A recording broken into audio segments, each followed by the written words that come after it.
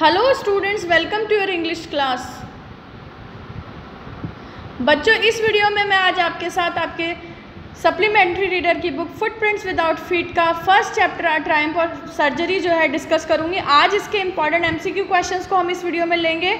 I hope आप इस video को एंड तक देखेंगे ताकि ये क्वेश्चन आपको साथ के साथ ही जो है प्रिपेयर हो जाए। Who is the author of the story a triumph of surgery इस स्टोरी के ऑथर कौन है? James Herriot Ruskin Bond Robert other या विक्टर कैनिंग। इसके ऑथर हैं James Herriot who does I refer to in the story story का narrator कौन है? ये आई किसके लिए यूज़ है? ट्रिकी के लिए? मिसेस पम्फ्राई के लिए?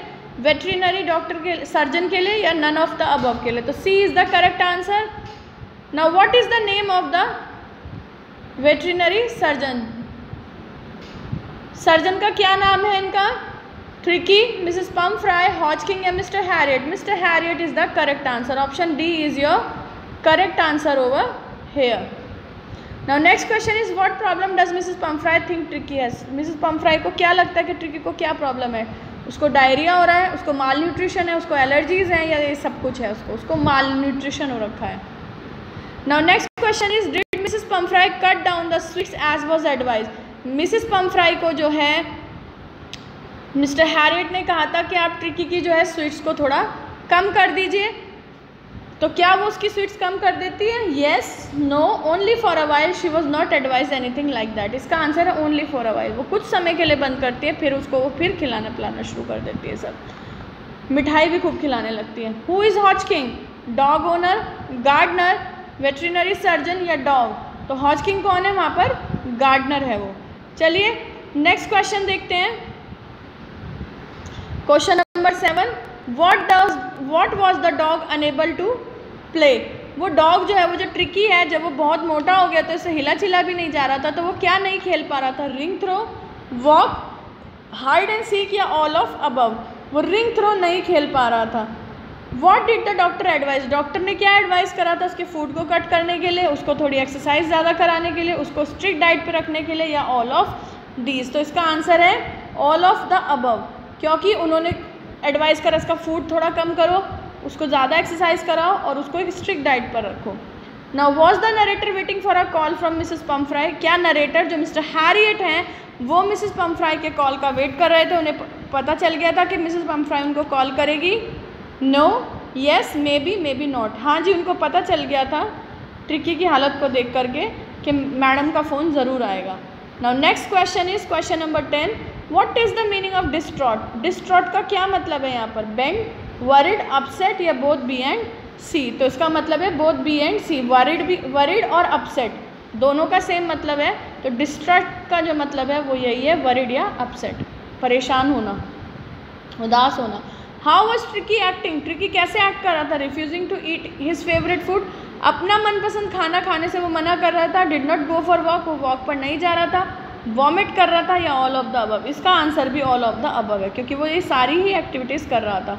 What was the best according to the vet doctor के अनुसार जो है, क्या सबसे बढ़िया था उसको हॉस्पिटल ले जाना, उसको वॉक पे ले जाना, उसको शुगर देना या बोथ बी एंड सी इसका आंसर होगा उसको हॉस्पिटल ले जाना। चलिए नेक्स्ट क्वेश्चन देखते हैं।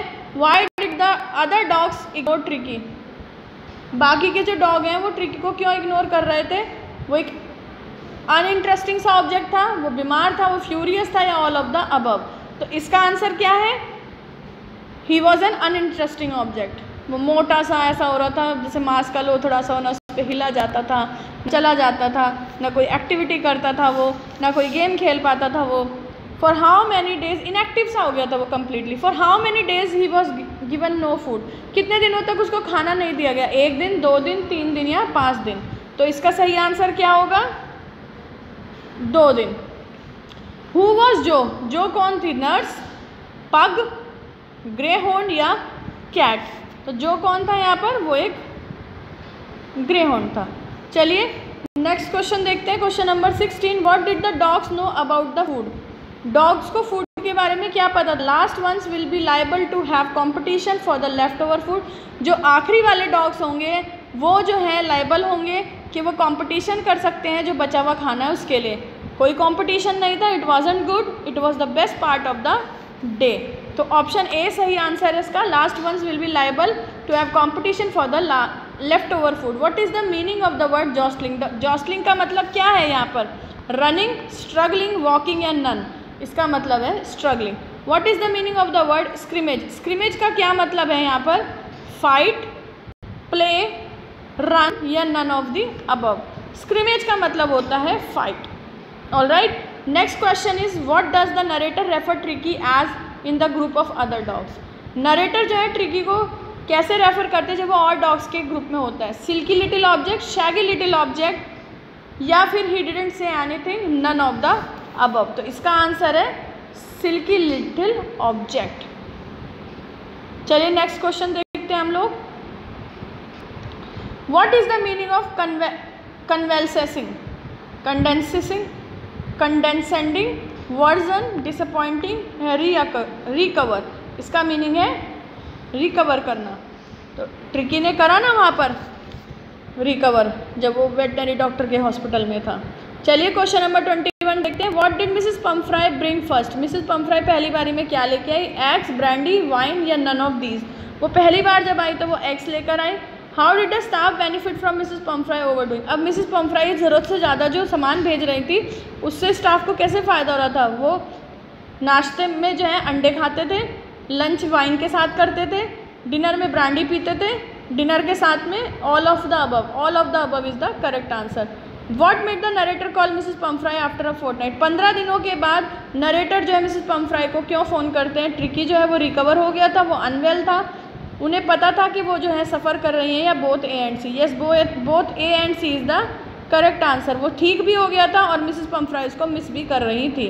क्वेश्चन नंबर ट्वेंटी फोर देखते हैं. In two weeks he had been transform into a lithe hard muscled animal what is the meaning of the of word lithe दो हफ्तों में वो लीथ और हार्ड मसल एनिमल हो गया था. इस लीथ का मतलब क्या है? डर्टी ग्रेसफुल मिसबिहेविंग या रूड इसका मतलब बैठेगा यहाँ पर graceful next is what did they use out of these अब मिसिस पम्फ्राई ने जब ट्रिकी को हॉस्पिटल भेजा होता है तो उसके साथ बहुत सारा उसका सामान भेजा होता है। उसमें से वो क्या क्या यूज़ करते हैं?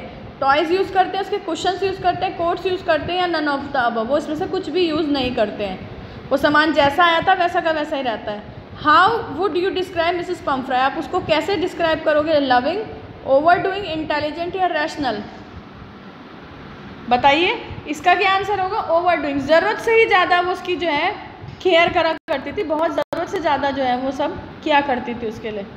Next question is how would you describe the vet आप वेट को कैसे डिस्क्राइब करेंगे? Tactful overdoing careless irrational वो बहुत ही टैक्टफुल पर्सन था। उसको पता था कि किस सिचुएशन को कैसे हैंडल करना है। कौन सा टैक्ट कहाँ पर अप्लाई करना है? Was Tricky happy on seeing Mrs Pumphrey क्या ट्रिकी उन्हें देख करके खुश होता है? हाँ जी no maybe she showed no emotion हाँ जी, वो बहुत खुश होता है।